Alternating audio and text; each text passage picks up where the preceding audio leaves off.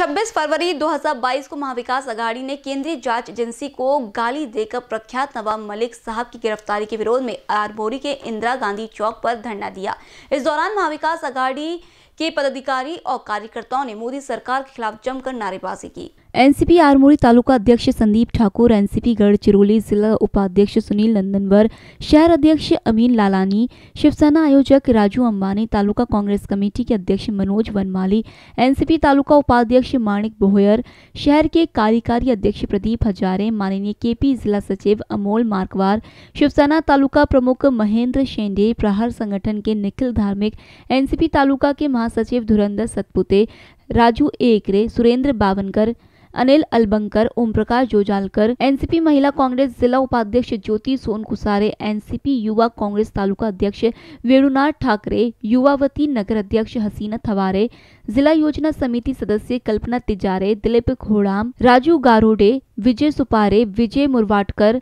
योगाजी थोरक रमेश सोरडे, शालिक पात्रे, देवेंद्र सोनकुसारे, सदाशिव भांडेकर, नरहरी भजभुजे अमीन शेख, रवि दुमाने, डकराम ठाकरे, माणिक ठाकरे, चंद्रशेखर अवसारे, आकाश birthday, विनोज निमचे, Naresh धोरे, Rinku झारकर, Akshay Borkar, Hriday Gharami, Vilas Dan, Vinod बेहरे, विकास धांद्रे, निखिल मोरांडे, आलोक विश्वास अर्जुन सरकार, Devvrat gain, Mrityunjay विश्वास आदि पदाधिकारी एवं कार्यकर्ता उपस्थित थे। आरमोरी से बीसीएन न्यूज़ के लिए हरेंद्र मंडावी की रिपोर्ट।